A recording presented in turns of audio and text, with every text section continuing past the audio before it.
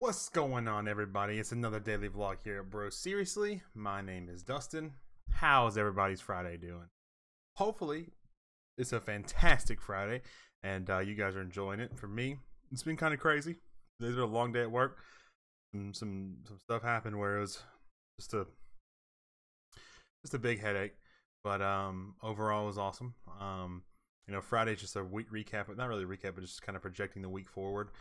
Um, nothing too too crazy happened this week. Gonna relax, gonna hang out. Um, the family here's out of town, so I got the house to myself, which is nice.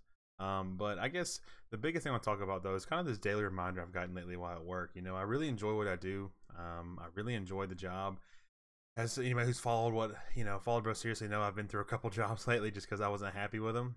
Um, but it always gives me the constant reminder to keep pushing to do what we're doing at bro seriously and building what we're building because um, just it's that constant reminder of wanting to build something bigger than just working for a company and working and you know working for them you know as much as i enjoy it i want to be able to to do my own thing and create something that's just bigger than me. And i said that but like i'm going to create a place that you know inspires people gives people helps to give people a purpose i should say. Um you know the thing i think i've said before is that one of our goals at bro seriously is to just change the way that people see work people have a, a negative connotation of work. When they think work they think oh you know i gotta go to work i gotta go to do this or that's just like work and i want to be able to change it to where you know people are excited to go do something they're excited to be a part of something they're excited to contribute.